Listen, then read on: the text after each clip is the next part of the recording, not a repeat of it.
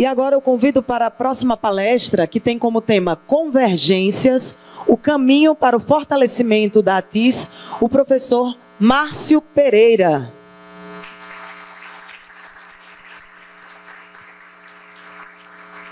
O professor Márcio possui graduação em Arquitetura e Urbanismo pela Faculdade de Belas Artes de São Paulo, especialização em Desenvolvimento Urbano e Gestão Ambiental pela Universidade da Re Região de Joinville.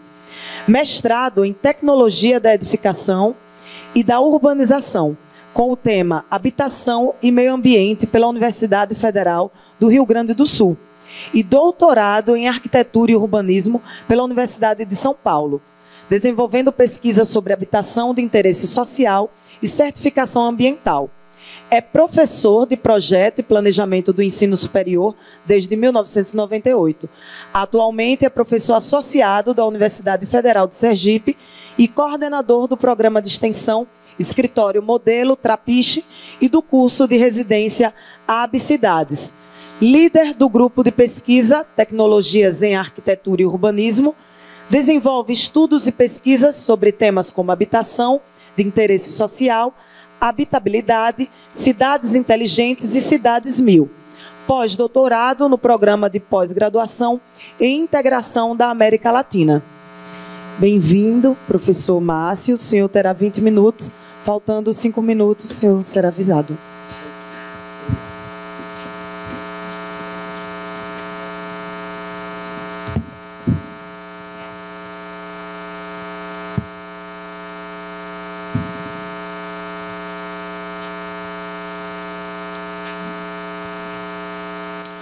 Bem, boa tarde a todos. Né? É uma satisfação estar aqui. Né? Eu acho que esse momento do que o CAL está proporcionando, ele é um momento assim de grande reflexão, de grande importância. Né? Então eu quero parabenizar né, tanto o CAL BR quanto o CAL Sergipe, né, na figura então da professora Heloísa Rezende, né, que eu acho que é uma batalhadora aqui em Sergipe, eu acho que ela está assim, a gestão dela, eu acho que foi uma gestão que realmente transformou né, o CAL aqui em Sergipe e trouxe esse evento, por exemplo, para cá, que eu acho que é um, um momento essencial para todos nós. Né? São reflexões muito importantes que falam a respeito de um tema que eu acho que é, é assim, ele é a própria arquitetura, né? A arquitetura e urbanismo, como a gente conhece, é uma disciplina é, interdisciplinar, né? e ela é uh, também essencialmente né, é, voltada para essa inter-relação né, entre todas as áreas de conhecimento. Eu acho que é fundamental a gente perceber né, que a arquitetura ela tem que ter essa integração né, fundamental entre o ensino, a pesquisa e a extensão. Né? Senão, no meu ver, a gente não está fazendo arquitetura. Não dá para separar né, essas, é, é, esses momentos, né, essas, essas perspectivas que a gente tem da arquitetura e do urbanismo. A minha, a minha fala hoje está né, tá falando a gente está falando aqui de convergências, né? Eu estou falando convergências no sentido da gente estar, tá, então, fazendo um caminho, né? Um caminho de convergência que está levando, né? É, quer dizer, é um processo todo que a gente tem e que está levando a um determinado ponto, né? A um determinado momento. Esse momento, entendo, no caso né, do curso de arquitetura e urbanismo da, da UFES como sendo a residência. Né? Então a gente vem de um histórico já, é, um histórico que vem trazendo né, uma série de experiências que estão aí, é, como a professora Nice falou, né, é, juntos e misturados, né? Juntos e misturados, né? E que levam a gente é, a, um, um, uma, um, uma potência muito grande em termos de conhecimento, né, em termos de realizações, né, para poder então estar tá é, desenvolvendo a nossa atividade, né, que é eminentemente social, do arquiteto urbanista.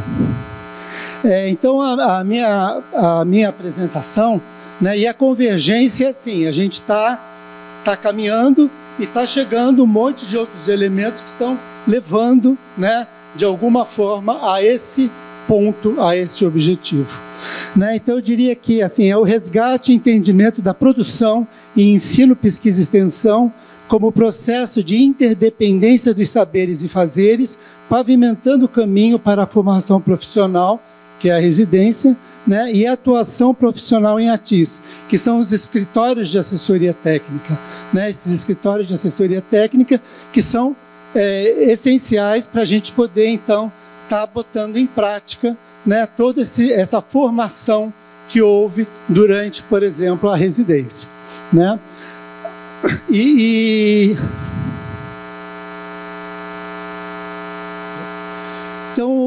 De certa forma, o objetivo então da minha apresentação é evidenciar a integração entre ensino, pesquisa e extensão como uma prática do curso de Arquitetura e Urbanismo da Universidade Federal eh, de Sergipe e reconhecer o curso de residência como ponto de convergência das atividades desenvolvidas no âmbito do ensino, pesquisa e extensão.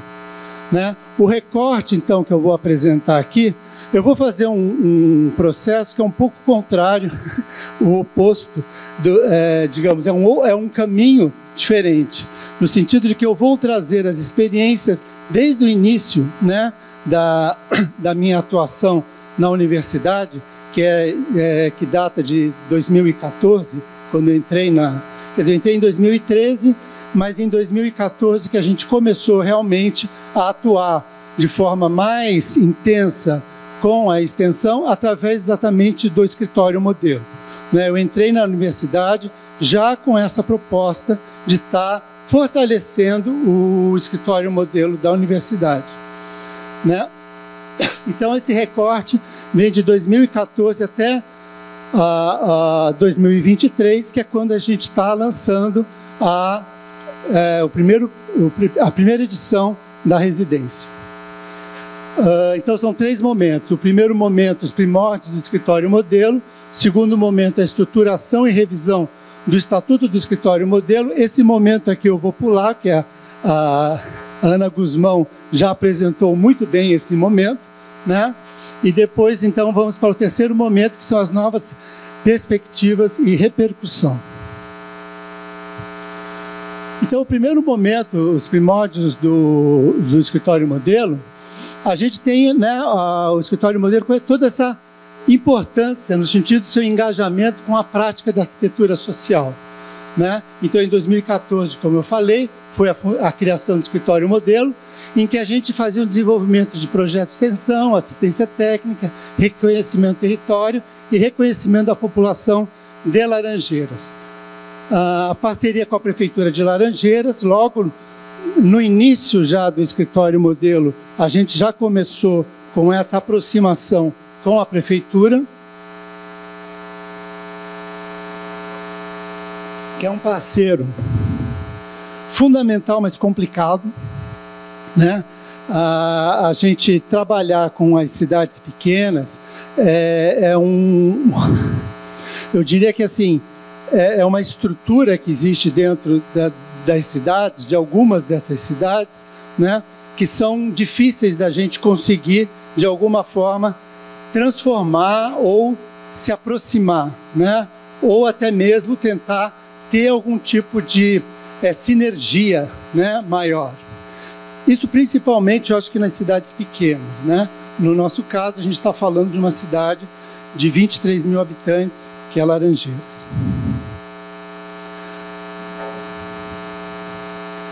É, e uma coisa importante é que essa, dessa parceria com a prefeitura já foram geradas algumas vagas de estágio, né?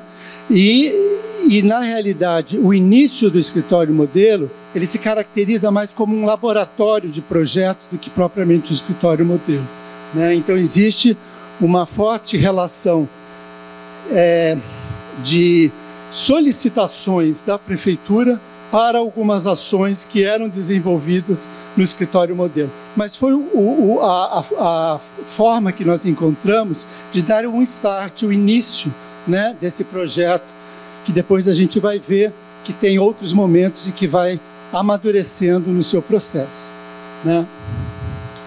Então, no início, como eu falei, ele se caracteriza por um, é, com, como um laboratório de projetos que era então gerido por professores orientadores dos estagiários da prefeitura. Então aqui algumas demandas na época do, da, da prefeitura, que é, por exemplo, a Praça da Juventude, construída lá em Laranjeiras, que foi um trabalho que foi todo executado pelos alunos do então escritório modelo. E esse outro projeto, que é o anexo do mercado, que tem é, o mercado tradicional, né? E, a, e, e existia a necessidade de uma ampliação desse mercado. E aí esse projeto foi todo desenvolvido também pelo escritório modelo na época. Ele não foi construído, né? O primeiro foi, foi executado e o segundo não. Eu acho que é importante a gente entender, né? Eu falei de Laranjeiras, o, o contexto, né? O que, que é Laranjeiras, né?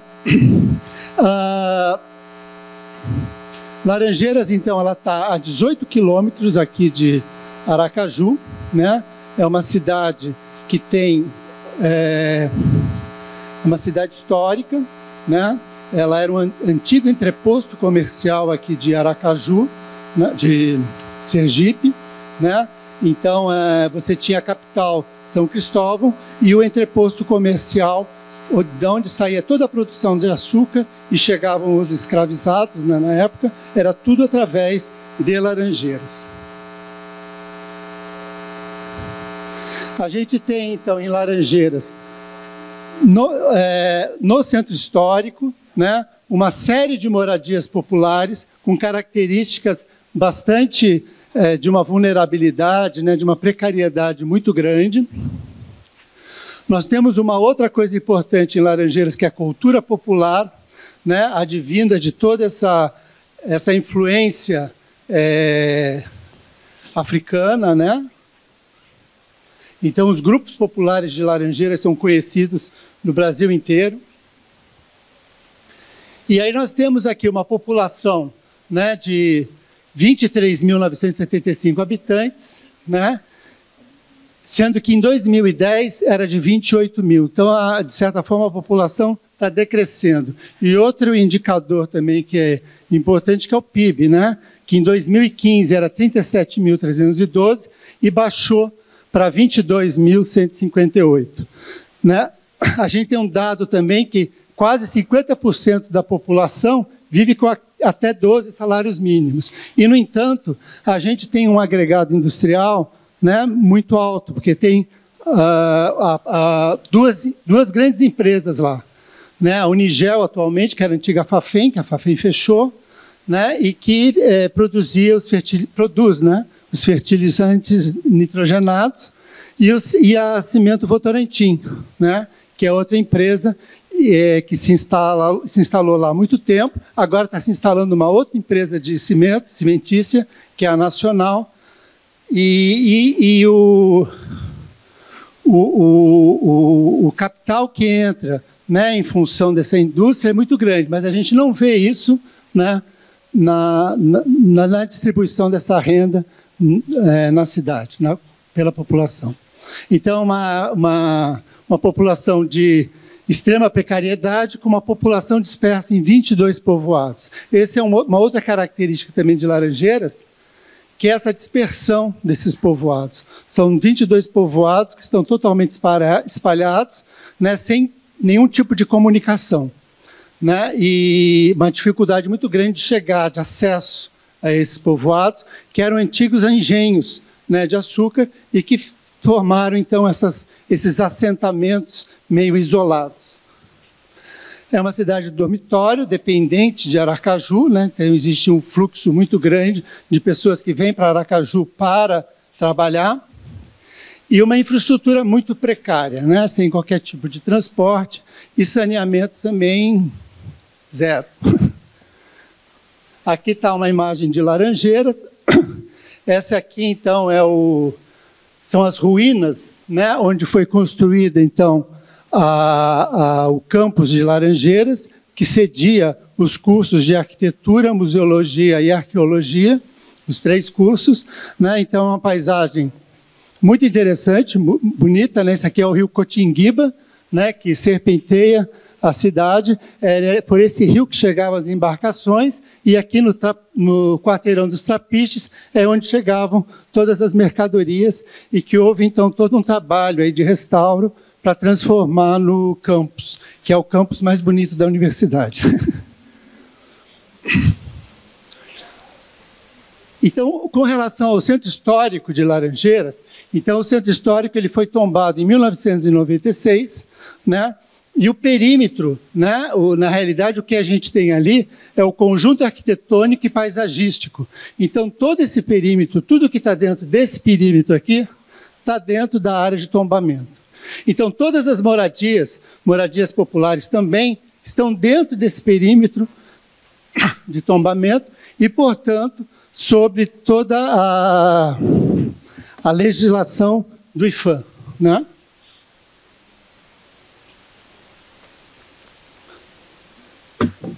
Nessa área, nós temos então 7 mil domicílios na área urbana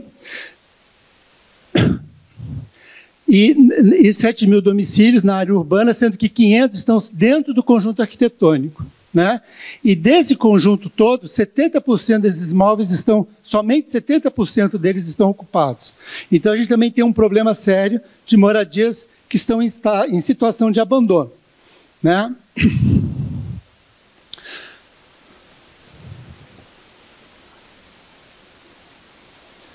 Aí eu vou. A ideia agora é da gente.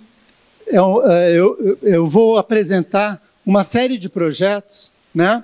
uma série de ações é, em que a gente envolve tanto a pesquisa, quanto o ensino, né? quanto a extensão.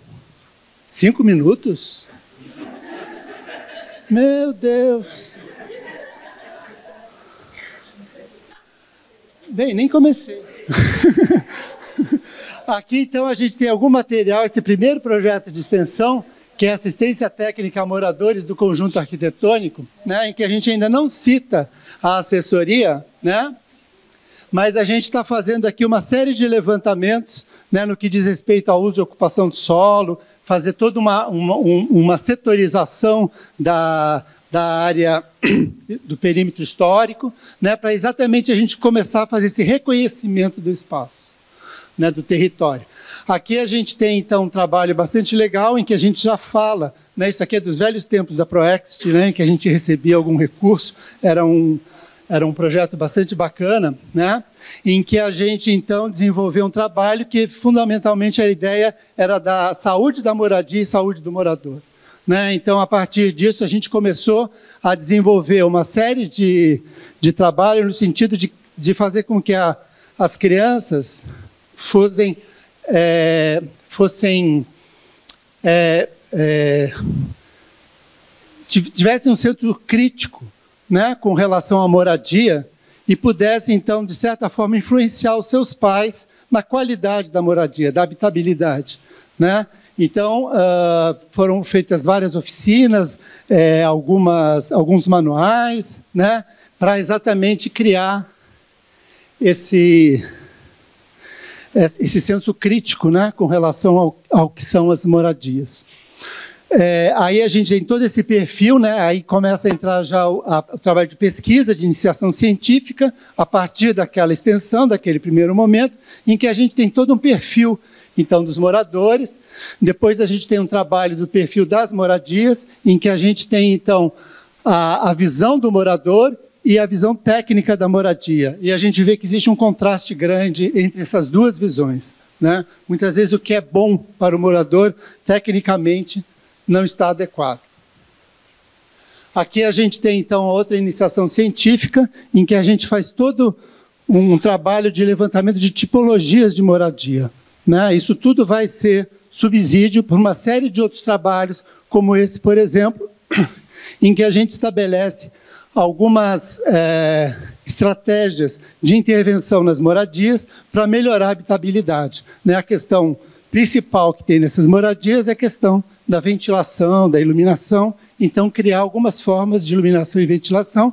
E esses estudos são feitos a partir, então, de, é, é, de ensaios laboratoriais, né? em que a gente fez com, em parceria com a UFAL, né? utilizando, então, a mesa d'água para identificar, então, é, essas deficiências, né?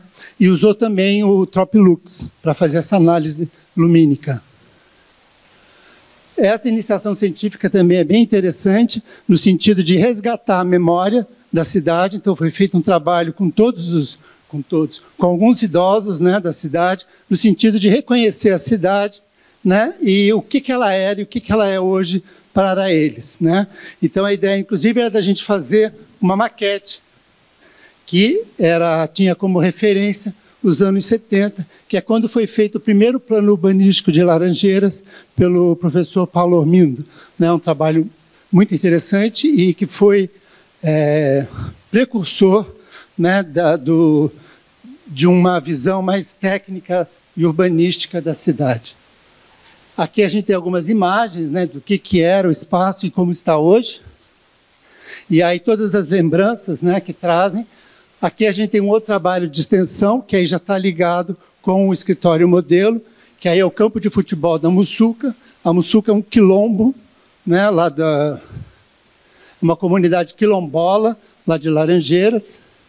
Aqui então a gente tem todo o trabalho que foi realizado com a comunidade. Aqui a gente tem outro trabalho muito interessante, que aí já entra a questão do ensino, né, inserindo então toda uma leitura da cidade no que diz respeito à sua estrutura. Como eu falei, a gente tinha os 22 povoados totalmente dispersos, então a ideia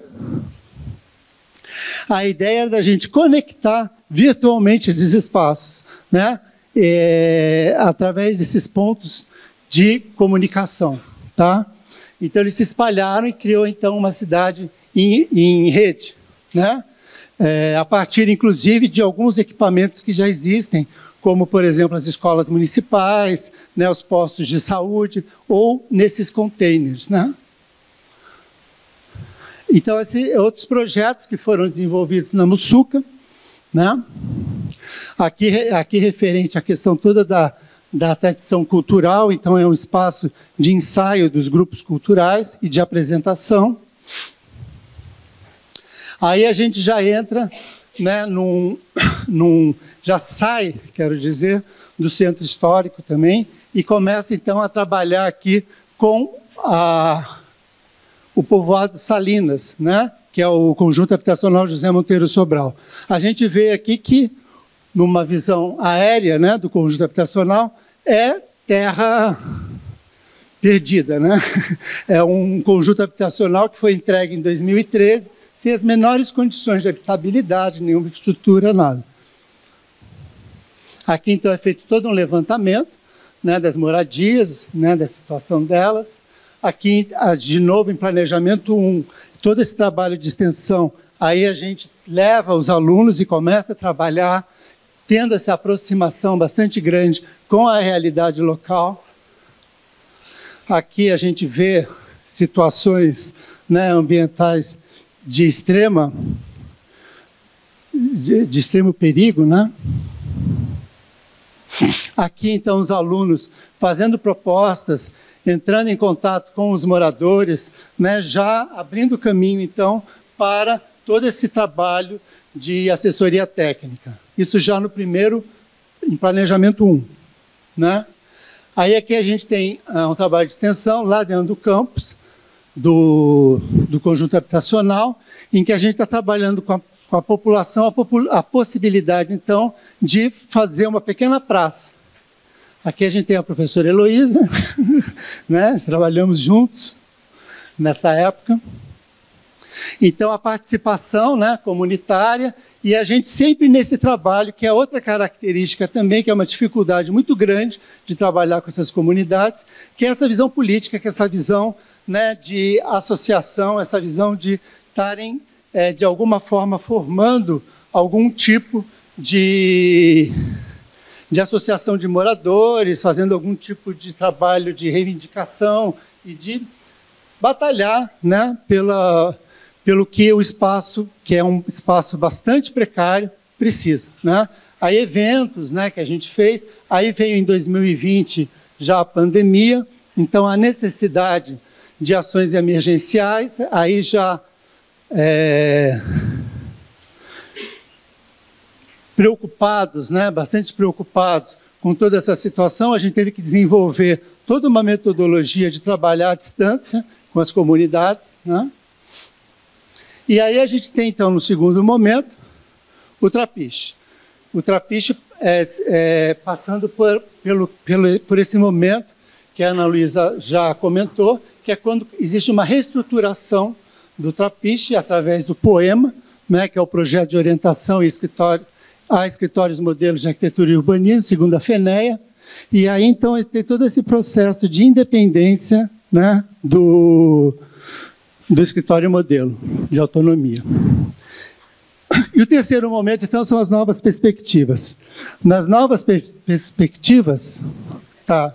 Nas novas perspectivas, a gente tem, então, a Chão, Assessoria Popular, a gente tem o, o Abcidade, que é a proposta da residência, né, para a gente poder, então, dar, em, encaminhar todo o nosso processo é, na universidade. Aí temos a experiência, né? Eu tive a oportunidade de ser professor visitante na, na, na residência da, na Federal da Bahia, né? Onde eu orientei dois alunos, né? Juntamente com o professor Daniel Marostegan, Marostegan né, o aluno Wesley e Ana Cláudia, que são os primeiros residentes, então, formados, que vêm para Aracaju, que são de Aracaju e estão aqui. Aí todo esse trabalho de comunicação à distância, aqui o projeto da pracinha, alguns equipamentos para a pracinha, e aí a gente tem o projeto, então, do Abcidade, que é o nosso projeto de residência. Né? O Abcidade, então, é um projeto de residência multiprofissional em assistência técnica para habitação e direito à cidade. Ele está muito colado, muito inspirado na experiência de, da Bahia. Né? Ele é o primeiro curso de pós-graduação lato senso dessa área no estado de Sergipe, então ele tem, vai ter, né, porque o, a primeira turma a gente vai lançar agora em novembro, tá? então terá uma importância muito, muito, muito grande né, né, para o Estado. Aí aqui a gente tem a estrutura do Abcidade, então tem uma carga horária de 1.350 horas, uma carga grande, né, das quais 825 são de atividades práticas. Tá? Uh, a gente tem uma coisa interessante aqui, que os preceptores, que são os coorientadores dos alunos, eles não necessariamente têm uma formação acadêmica. Eles podem ser líderes comunitários, isso está previsto, né? É, está previsto na resolução, né, quando é, o, a, as residências multiprofissionais foram aprovadas na UFES. Então, a gente tem uma resolução para residência multiprofissional em outras áreas que não da saúde. Tem já uma, uma residência multiprofissional em, em ciências agrárias, né, que já aconteceu, e estão surgindo na UFES outros, outras experiências de residência. Então, ações convergentes, né? Eu acho que é muito importante isso, a gente ter, então, a, a extensão, a pesquisa e ensino totalmente né, convergindo para é, é esse objetivo, que é a ATIS, né, que é a qualidade de vida, que é a moradia digna, né? as políticas públicas convergentes, então prefeituras de estado, é, é, residência, laboratório, canteiro modelo, e aí a gente já está incorporando aqui até o, o, o programa Periferia, Periferia Viva, né? E também uma outra experiência muito grande, que é o canteiro modelo de conservação né, do IFAM. São dois programas. O, canteiro modelo de conservação ele já está bastante adiantado o processo de negociação, né? já estamos assinando um TED, Né? E aí isso vai possibilitar oito bolsas para os alunos. Foi uma engenharia louca que a gente teve que fazer, né? eu acho que esse é um ponto né, que é muito importante da gente levantar, que é a questão dos recursos. Né? E depois não é só conseguir o recurso, é como gerir esse recurso. Porque existe, por exemplo, algumas, em algumas resoluções, né, não é permitido né, que se use esses recursos para bolsas né, de, de lato senso, só para estricto senso. Então, isso tudo a gente tem que negociar na universidade. Convergência e fortalecimento da TIS em Sergipe convergência de recursos para a TIS. Então, a gente, tudo que aparece, todas as oportunidades, na realidade, que surgem né, de recurso, a gente abraça e depois a gente pensa como é que vai fazer. Esse é o jeito nesse momento. Né? Eu acho que não tem muito como a gente estar tá negando alguma verba. Aí a gente não dorme a noite inteira, acorda no dia seguinte com alguma ideia para viabilizar a utilização daquele recurso. Porque senão não tem como. Né? A gente tá, a gente, somos ainda pioneiros, a gente está desbravando todo esse processo e para a gente poder conseguir tem que ir, tem que ir, né? não tem como. Então é isso, gente. Obrigado.